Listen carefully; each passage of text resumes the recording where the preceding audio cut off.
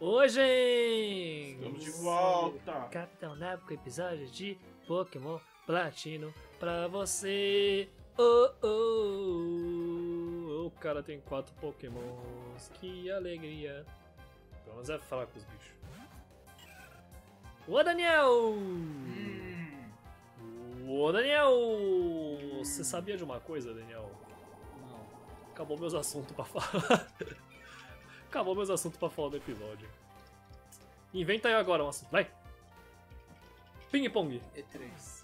Ixi, já Tá falou o chegando. E3 no episódio, né? Mas tá chegando, cara. É, tá chegando, meu. Falta menos de um mês. Dá pra fazer até um Nabocast disso. É, certeza. né? Expectativas da E3. Tudu, tudu. E da E3 quando sair a Direct no dia 11. Dia 11, mo. Vai ser numa terça-feira. Mas tem os das outras empresas. Ah, não ligo pra todas. Beleza, quero que exploda. Desse ano não vai ter da Sony. Ih!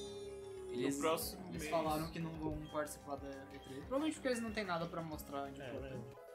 Uh, A única- Nintendo cria a, PlayStation a copia. única coisa que eles tinham legal que eles mostraram já foi o trailer do Final Fantasy VII Remake. Ah, sim. Você viu? Eu vi. Eu nunca joguei Final Fantasy VII, queria jogar uma vez. Mas você É. falou que é grande pra caramba esse jogo. É um RPGzão, né? RPG é um RPG. J, JRPG, então eu já imagino que é meio grande assim. Não, deve ser tão grande quanto tipo Xenoblade, mas. Xenoblade. Mas é mais. Waifu Blade. tipo umas 50. Ah, 50 horas é ok. Eu sei, agora eu tenho, eu tenho noção um pouco de horas de jogo porque eu venci o Let's Go em 24 horas. Olha. Mas não direto, né? Eu não sou. eu não sou um animal assim que sai direto 24 horas jogando Pokémon. Assim. Minha vontade é essa, né? Mas meu corpinho não deixa. Né não, Daniel?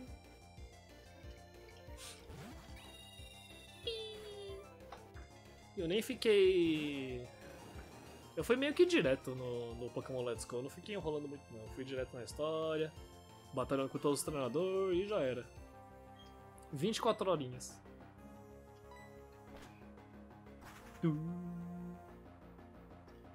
Ô Daniel, Hum, qual foi o máximo de tempo que você jogou um jogo? seguido? De horas? Não, tipo, registrado no jogo. Putz, é que aí tem uns jogos que eu não tenho como saber. Mas eu provavelmente joguei eles mais. Do Porque que, eles, não, eles não registram mais do que mil horas. mais do que mil horas. Sabe qual jogo que eu joguei mais Ó, de, mais de mil Pera, horas? Deixa eu responder direito. Ah, não. É, eu sei que eu passei das mil horas no Super Smash Bros. Brawl. Ixi. E, e sem contar. Acho que no PC eu não passei nenhum. Mas provavelmente. Eu, é que não sei quantas horas eu deve ter, mas eu sei que eu joguei bastante horas de Maple Story e de League of Legends. League of Legends. Lá, lá, lá, lá, lá. Sabe qual jogo que eu eu passei de mil horas? Você Ah. não vai acreditar, Daniel. Você não vai acreditar. Você não vai acreditar. Clique no botão. é... Pokémon X. Ah, Sabe por quê? Você fica fazendo os Shine lá. Porque eu fiquei tentando completar a Pokéagenda de Kalos com Shinies. Então eu fiz todos os Pokémons de Kalos. Pra você- Eu tava, eu tava feliz. Pra você ter ideia de como eu gostava do- da sexta geração. Eu até decorei a musiquinha da, da bi- bicicleta, porque eu tinha que ficar chocando os ovos, né? Usando o método Masuda. Que fica tipo.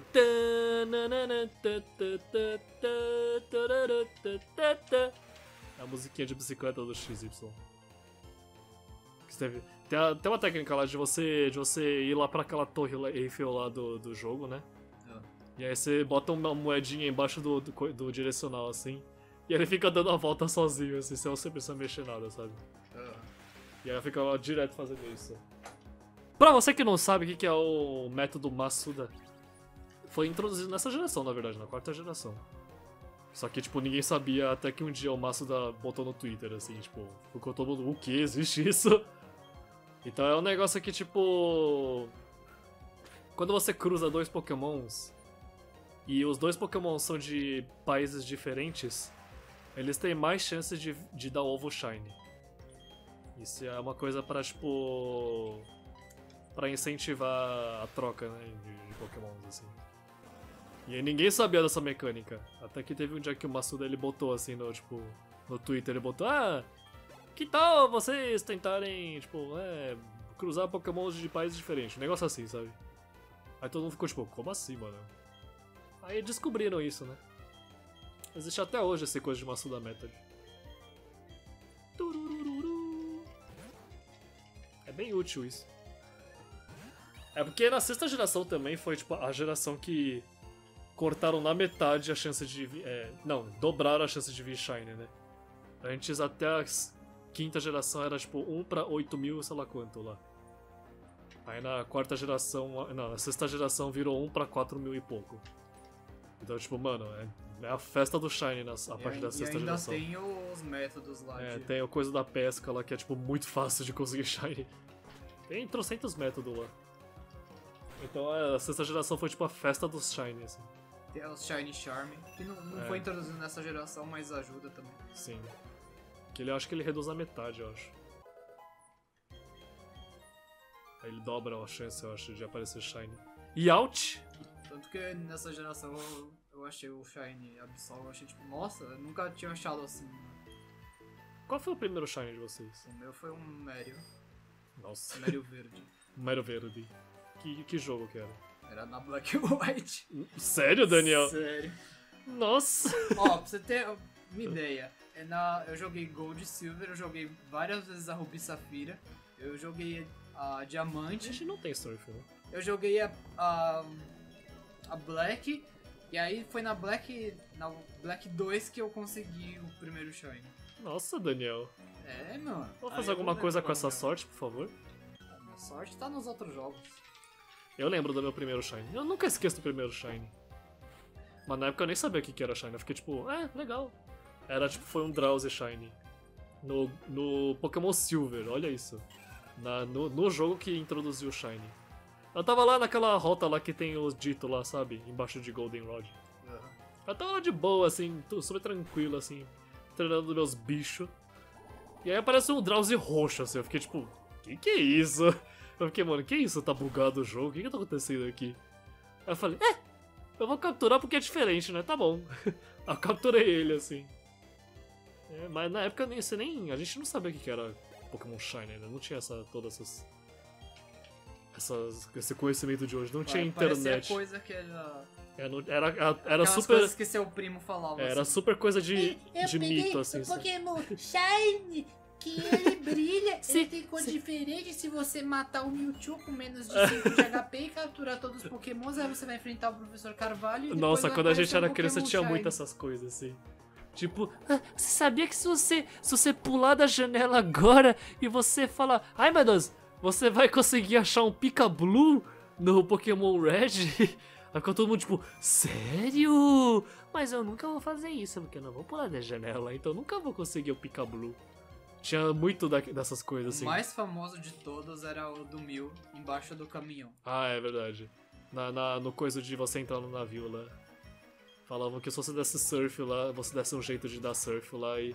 Então, Não, incrivelmente, tem um caminhão lá, realmente.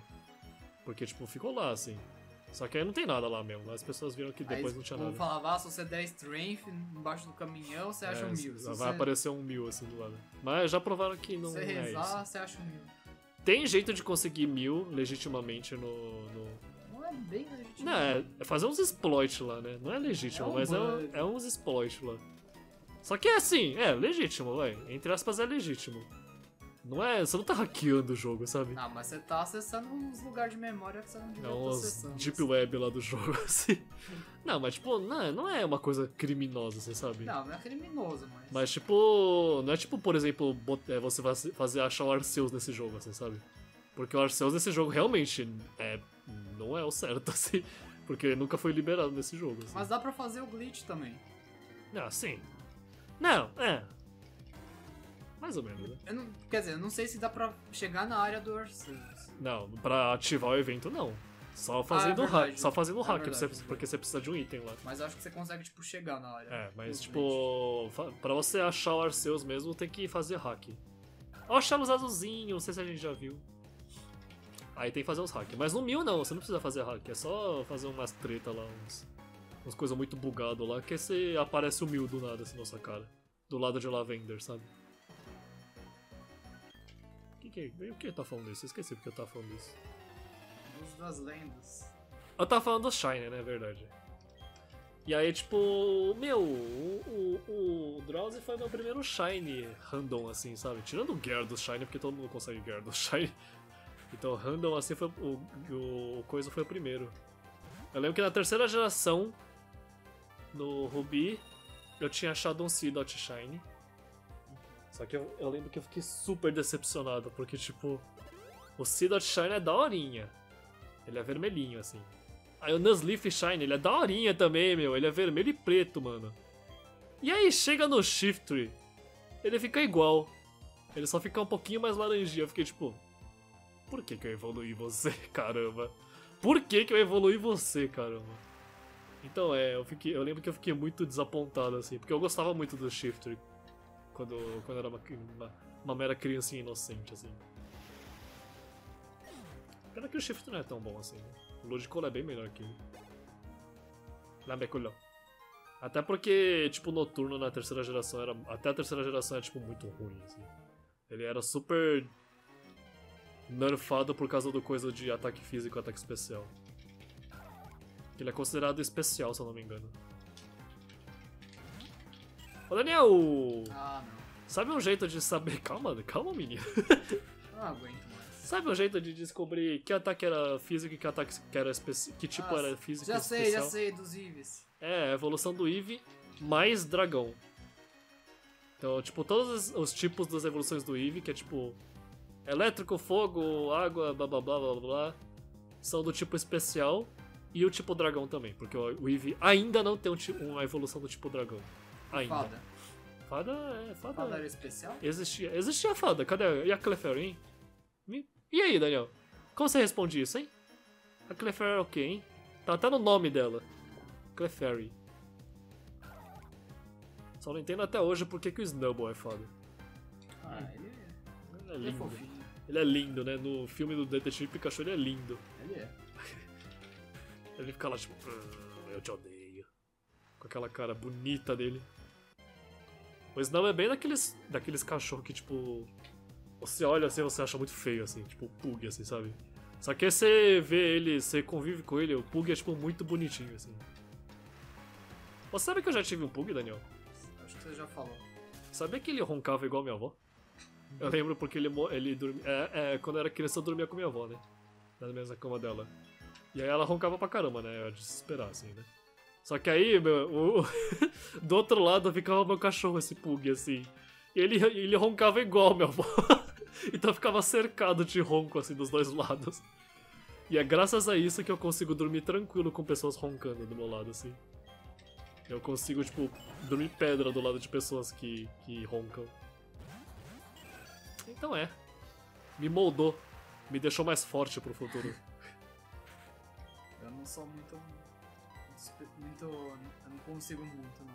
Eu consigo, de boas. Tem. Quando eu fico meio incomodado. Ih, Você quer bater na pessoa, hein? Ih, Joguinho, como você faz, hein? Ué, Pra vocês dormirem junto. Como faz, hein? E agora? Tem que dar um cutucão no. Até que divorciar. Ah, que isso? que isso, Aí Daniel? parar de roncar. Que isso? Ele faz. Oh! Aí ele para assim. Faz- Ele faz assim. Faz. Aí para de roncar do nada. É, rapaz, eu já, eu já saquei sua técnica, Daniel. Tá certo. É o famoso pula pirata. Pula pirata. Pula pirata. Funciona. Sabia que no Japão as Ela vem. criancinhas ficam fazendo pula pirata no. Eu sei. É, Tem no Naruto isso. É o coisa de você enfiar ah, o mas dedo. o Kakashi mil anos de dor. Eu sei, na Coreia também fazia isso. viu?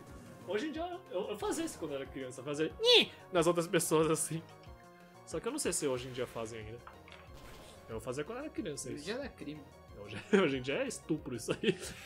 Não pode isso aí. Fala, você violou meu corpo agora, eu vou te processar. É, menino. Tantas coisas que mudaram. Meu, você acredita, Daniel? Em, em 10, 20 anos, tanta coisa mudou na moral das pessoas, né? Não? É, agora Para não pra pensar filosofica- filosoficamente assim. Agora não dá nem pra falar que todas as pessoas iam morrer. É, meu. Antigamente eu lembro quando a gente era criança, a gente falava, nossa, que baiano isso. Hoje em dia é mó xenofobia isso. Você não pode falar isso. Tá, você é criança, você não pode falar isso, tá bom? A gente falava isso, mas a gente era da década de 90, tá bom? A década de 90 as pessoas eram meio maloconas, assim. Só não vejo a década de 70, de 60, assim, porque os caras lá é. Aí é outro nível lá. Quando seus pais falarem que, tipo, ah, na minha época não existia isso, não, é mentira, tá? Na época deles era muito pior. Eles faziam coisas muito piores que a gente, É, assim. Tinha as coisas de racismo, cara. É, os caras, tipo, usavam todas as drogas possíveis, assim. Era super liberado tudo, assim. Então, é mentira essas coisas, tipo, ah, sexo antes do casamento não pode, na minha época não existia isso. É tudo mentira isso aí, tá? Década de 60 e 70, ó. Assim, ó. só, só assim, ó. Tudo graças ao, ao movimento hippie. É. Inclusive foi nessa época que pro. pro. Como fala? Que, que se espalhou assim a doença. Propagou. É, que propagou a AIDS. Foi nessa época aí. Então é, né? Tudo mentira isso aí, tudo mentira. Fala assim isso pro seu pai, você é mentiroso! Mentira, não fala não, tá? Você vai levar um tapa na cara. Mentira, tapa na cara não pode dar hoje também, não. As crianças processam os pais se você fizer isso. O conselho tutelar vai, vai tirar seus filhos disso. Responde, Daniel! Ô, ô, Daniel! Ô, Daniel! Não aguento mais. Não aguento mais ouvir meu nome. Você. Você daria uns tapinhos no seu filho? Eu vou dar uns tapas em você. Hum. Você vai parar de. Para que eu chamar gosto, assim. para que eu gosto. Daniel. Não adianta, Daniel, eu gosto. Ei, Daniel, responde Eu aí. não vou ter filho porque eu vou dar tapa. É verdade. Ô, Dioguinho, você daria uns tapinhos no seu filho? Pra educar, não pra espancar o filho, né? Mas pra educar, tô Acho falando. que sim. Acho que sim. Eu tenho certeza que eu vou dar uns. Assim, ó. Para! Para de bagunçar! Para! Para! Para de bagunçar! Assim. Fala, Daniel. Fala aí, Daniel. Tinha visto um comentário no, Twitter que era tipo, ah, se o, se o seu filho entende que que bater nele, ele vai. ele fez alguma coisa errada, então ele também entende que conversar com ele, ele tá fazendo algo assim. Não entendi. É algo que, tipo, se ele consegue entender com, Com com palmadinhas. violência, ele, ele também consegue. Se ele é velho o suficiente pra entender com violência, ele também já é velho o suficiente pra entender com palavras. Tá, entendi. Mas aí se você só dá bronca de palavras, ele é capaz de não entender. Às vezes não entender. Não. Hum. Vai apanhar. Bate. Pode bater. Vai, bate, bate. Bate bem aqui, ó, Daniel. Bem aqui, ó. Ai, ai, ai. ai. Bate mais, bate. Chega! Tô molhado. tô molhado. Sabe por que eu tô molhado, Daniel? Porque hoje tá chovendo, né, Daniel? Nem Tá tá, chovendo, nem choveu hoje. Para de inventar. Ah, antes tava chovendo, menino. Tava nada. Tava. Você que não sai da sua casa. Pô, eu tô saindo, tô tudo Nossa, esse. Tô mó depressivo. Por que você tá depressivo, Daniel? Ah, porque eu tô sentando dia de casa. Ah, não aguento mais sair de casa. Aqui você, ó. Ai, ai, ai, ai, ai, ai, ai, Daniel. Ai, Daniel. Ai, Daniel, ai, Daniel. Para com isso que parece outra coisa isso, Daniel. Parece outra coisa isso aí, caramba. Mas é, isso é bom. né? Parece um vibrador esse negócio. Vai falar que o emote não parece um vibrador. Não. Parece. Ainda mais com esse plástico, Eu não esse, tenho, como é que eu vou saber? esse silicone aí. Ah, eu tenho. Zero. Você achou que eu tinha, né? Mas... Eu pedi emprestado. né? e aí, pra gente... Nossa, Pô, é eu grandão, não pedi hein? emprestado. Ah, tem gente que pede, velho. Não, não pode. Vai saber onde foi parar aquele negócio. Vai saber onde tava. Não é não, Dioguinho. Meu Deus. Meu Deus, o que, menino? Parece fazer de santinho. Esse cara só luta com a gente de, de noite. Que a gente é uma criança indefesa de Ô, noite. você vai pra próxima rota ou não? Calma, é que tava vendo se eu esqueci de alguma coisa, mas... Já vi que não. Só esqueci esse guardinha, mas ele só luta de noite mesmo. Vai ficar três episódios nessa rota, né? Você cala sua boca. você cala sua boca. Que eu não deixe você falar. Ouviu? Eu precisava recuperar meus bichos, mas agora não. Ah, vai em frente, você tá perto do... Abre o mapa aí, ó. Oh, cadê, cadê? Cadê o mapa? Cadê o mapa? Cadê? Aqui, ó. Pertinho. Pertinho. Ô, droga. Ô, Joguinho! Mas e se...